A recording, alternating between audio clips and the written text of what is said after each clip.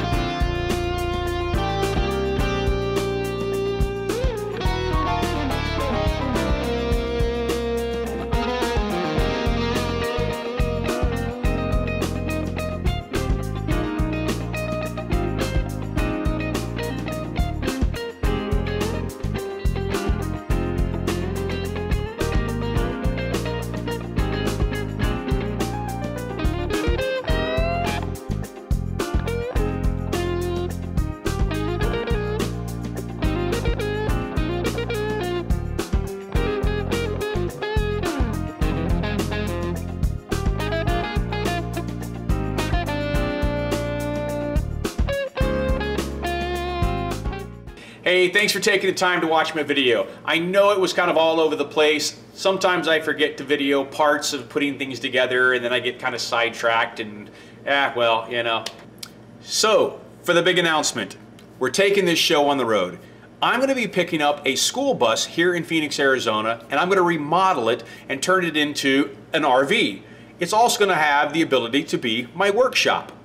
Most of the work that I get is done online. So that means that I can travel pretty much anywhere. So right now I'm starting to fill in the calendar and I believe in May that I'm going to try to hit the San Francisco Maker Faire. in June, I'm going to try to hit the Kansas City Maker Faire and I'm going to make my way to the East Coast, so by beginning of July, I should be on the East Coast. So if you're on the East Coast and you want to connect, go ahead and leave me a comment down below, or keep an eye on my videos because I'm going to be documenting the process of building this bus. I'm super excited. So, see you in the next video.